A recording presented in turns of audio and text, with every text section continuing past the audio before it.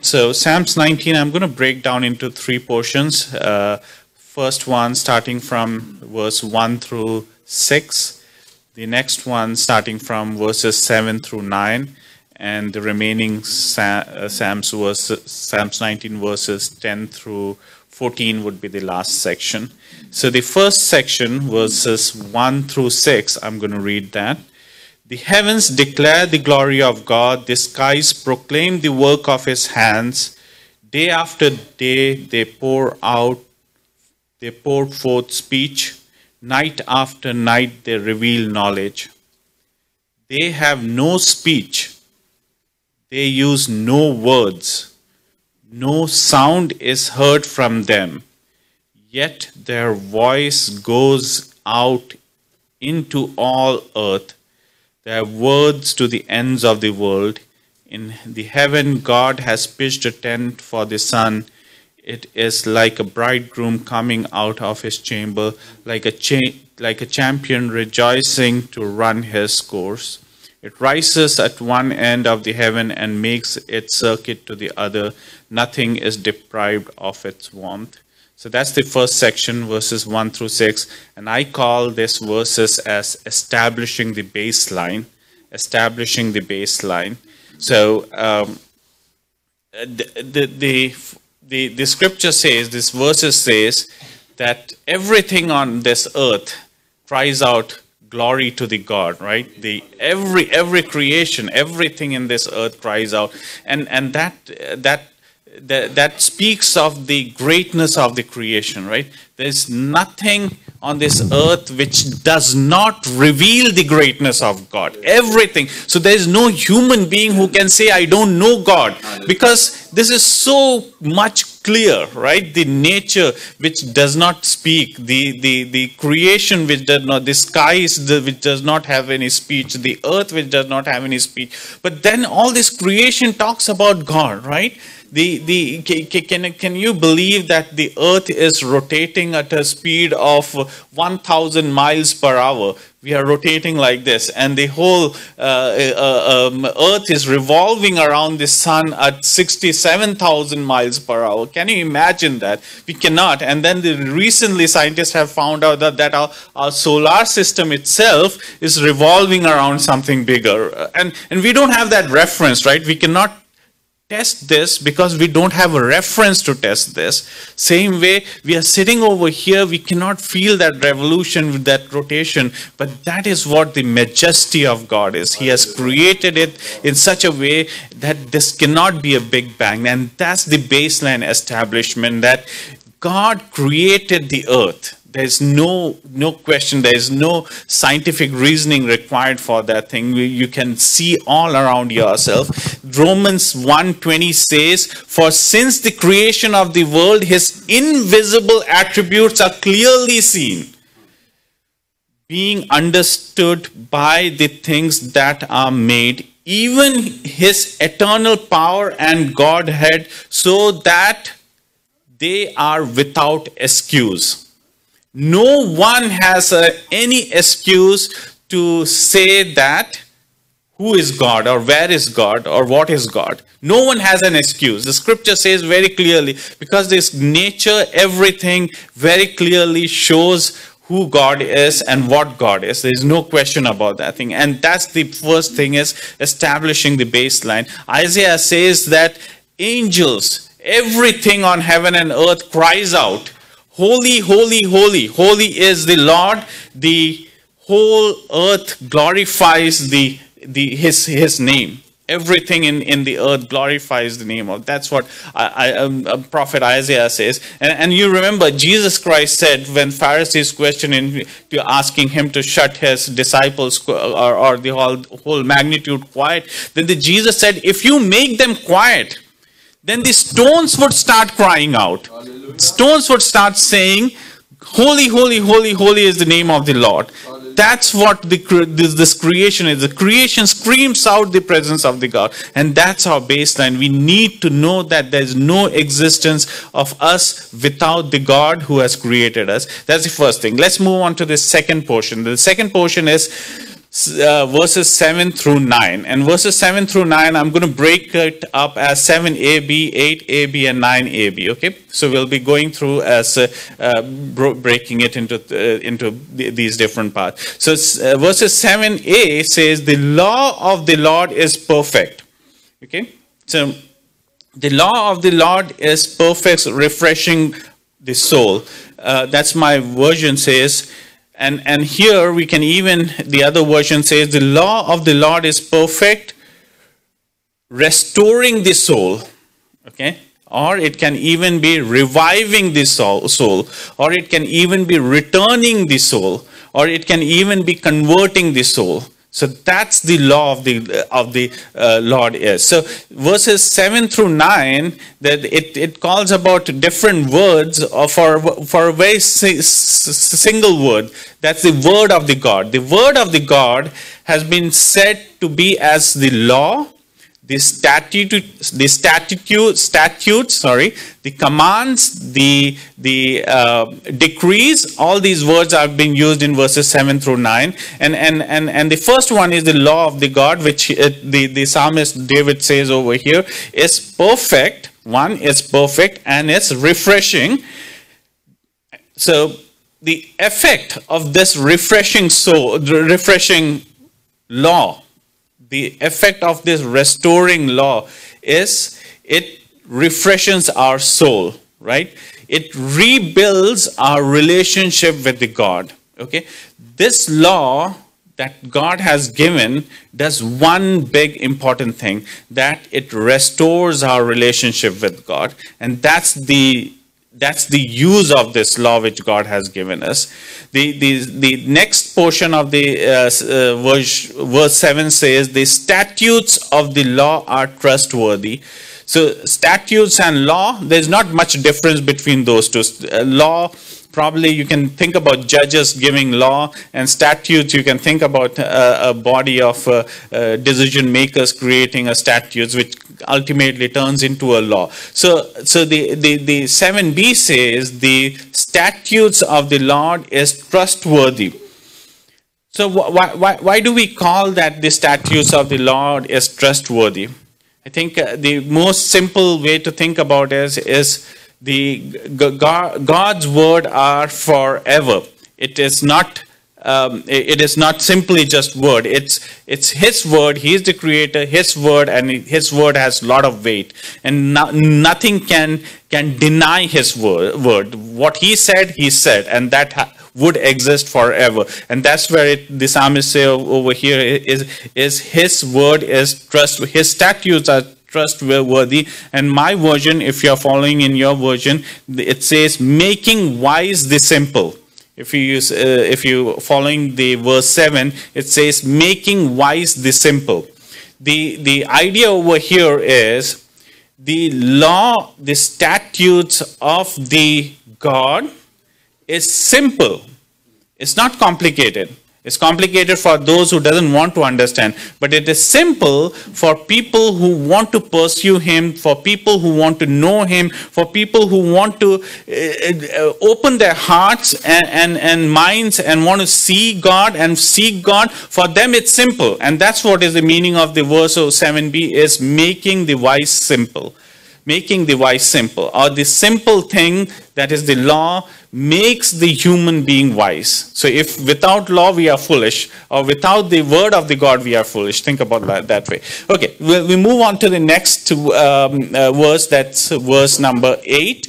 And 8a says, The percepts of the Lord are right. The percepts are percepts the uh, the meaning of percepts is rules the rules which God has given is right.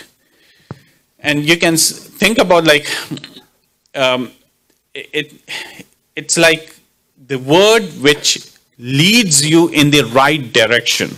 Okay?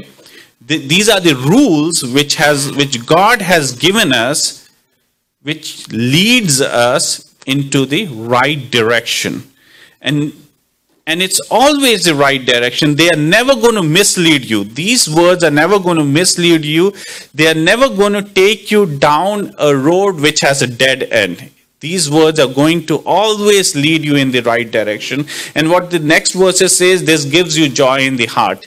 The precepts of, of the Lord are right. It takes you in the right direction and it gives joy to your heart. Imagine like you put a, put in your Google map a destination and it takes you to the right de- destination. How ha- happy you would be at the end of the destination that you reached there correctly, right? If you put somewhere and it takes you somewhere different, how frustrated and how uh, how in how, how um, how much uh, unworthy, not unworthy, and I'm not going how much incapable you would be feeling if if the direction, the rules takes you to a, some different different destination. Okay, so that's the verse number eight. A is the percepts or the rules of God takes you in the right direction and if you reach the destination you will have joy.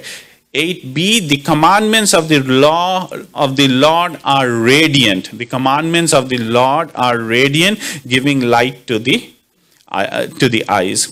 And and then uh, uh, th- that's probably the simplest right? God has given us commandment. And again uh, uh, we go in in order. The, he gave the laws, he gave the he gave the uh, statutes, he gave the precepts, and then now we come to the commandments. He gave the commandments, and we have the Ten Commandments, and we have all those commandments. And his commandments are light, and that's what the, the psalmist have said. that what different uh, authors have said in, in the scriptures that your word is lamp to the feet.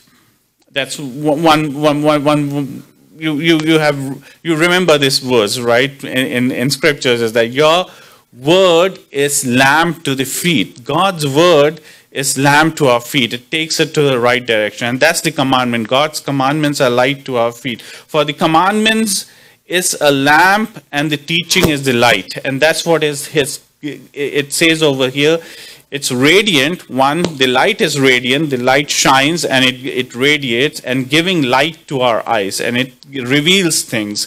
And John, uh, Apostle John said in his one of his uh, uh, letters that uh, Jesus is the light who enlightens everyone in the in this world, right? So Jesus is the uh, Jesus is the Word of God who is the true light and is enlightens everything in this world. So that's the 8b. Uh, and the next one is the 9a. The fear of the Lord is pure. The fear of the Lord is pure. Well, uh, uh, so you, you, you once again going back the he gave the law he gave the statutes he gave the uh, commandments he gave the precepts and now all of a sudden we talk about the fear. Why is fear sitting in between in all these terms? Law precepts commandments uh, uh statutes everything. Why is the fear sitting in in, in between all, all of these? And after 9a the 9b and the last one is the decree. Decree is again a, a way of uh, a, a, firm order. Decree is like a king's issue decree, right? A king's king's issue the decree. That's an order, a firm order. So in, in between all these different words which pertains to law and commandments, everything, a word sits which calls which is said fear. The fear. The fear of the Lord is pure. Okay? The fear of the Lord is pure. The first question should be arising is why a word called fear is sitting over here. So I, think in this way, like uh, my son Joel would have some fear of me, right? Because he has fear of me, uh, but he also loves me because he knows that I'm his provider. And the same way is, is I, I, I wish like every kids should be having that pure fear of their father and same way we should have that pure fear of our heavenly father because he is our creator and he is our provider. Like so so his fear is purifying. When we say that his fear is pure we also say that his fear is purifying. His fear purifies us of all our iniquities. Okay, and the verse goes on to say that his fear is pure and endures forever. His fear is pure and it endures forever.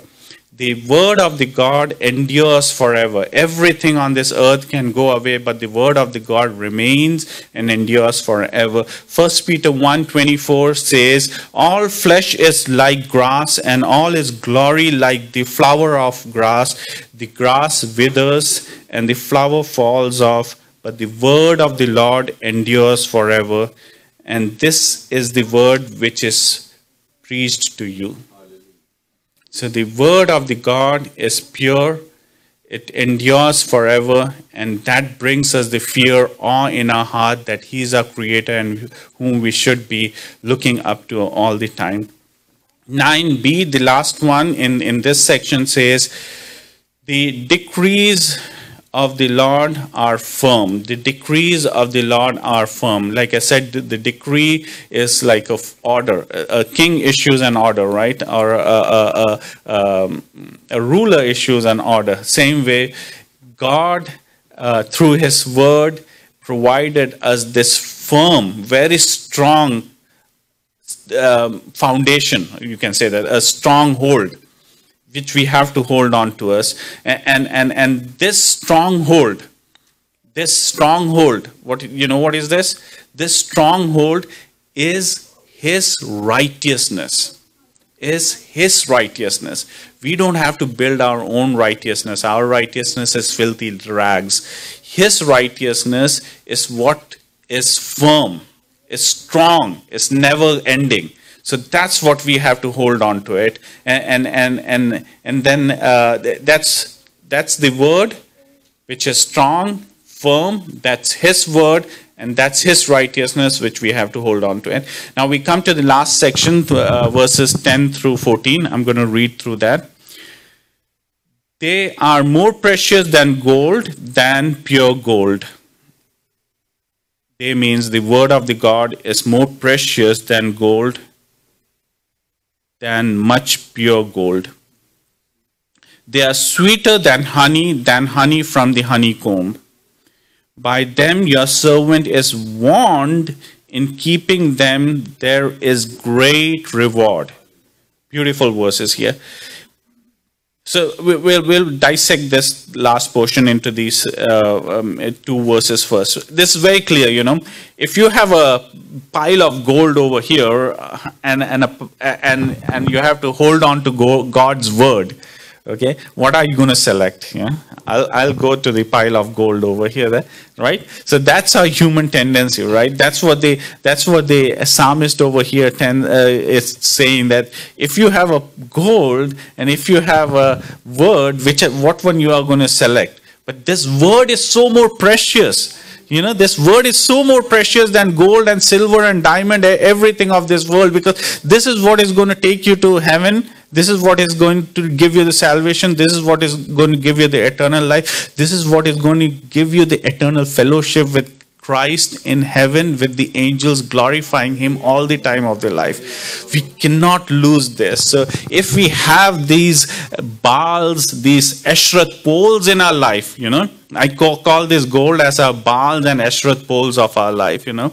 The Israelites built these big poles. Those are called Asherah poles. And, and they kept on building Baals every time right? God warned them, don't do that, but still they did that. But now those Baals and Asherah poles are not there, and we keep kept keep asking we are good people because we don't build any Baals and any Asherah poles, but we do build for ourselves gold piles, big savings, big expectations for kids, big expectations for everything in this world. And that's not what we are meant to do. We are meant to do, carry on this precious, hold on to this precious word of God, which is going to give us that eternal life. So, brothers and sisters, the last few verses, which I'm going to read through quickly verse number 13 keep your servant also from willful sins. May they not rule over me. Then i will be blameless innocent of great transgression. May these words of my mouth and this meditation of my heart be pleasing in the sight lord my rock and my redeemer. So one thing david is telling is that i can select the gold of this earth. I'm in my humanly flesh can even do things which I don't even know is wrong. I can be sinful. Like I'm, I'm deep rooted in the word, but still I can be, uh, I, I can, uh, I can go wrong. But, but then what, what the, the, the, the psalmist David over here is confident that his God is going to is going to forgive him if he comes and talks to him and goes to him. And that's what we have the assurance today in Jesus Christ. The law that we are talking about, the word that we are talking about, everything culminates in Jesus Christ. Our, our deeds, our works, our property, our money, our savings, nothing is going to take us to where we want to be. It's, it's the Christ who is and who will be our stronghold and who is going to make sure that we we are there with him at the uh, end of the ages. With that, brothers and sisters, I hope this is, encourages you. Let's bow our head and think about these words which God has given us. His word is so purifying. His word is restoring us. His word is, is, is everything, is precious than anything in this world. His word is going to give us the life that we need. Let us all focus into our Christ, who is the word of the God, who is the, the, the, the, the, the salvation, the Redeemer, who is everything for us. Let us focus and pray that, that, that we all are, are, are, are going to be with Him on that end of the age, and, and, and we will be rejoicing with him on that final day. Thank you, Father. Thank you, Father, for your word, for the for for for, for your spirit that that that gives us this encouragement to be with you forever, Lord. Thank you, Father. We submit this rest of the service unto you, Lord. Be with us, Lord, and give us uh, keep our hearts and, and thoughts open, Lord, so that we can invite you in our hearts, Lord, and, and be blessed, Lord. We ask this through our Savior Jesus Christ.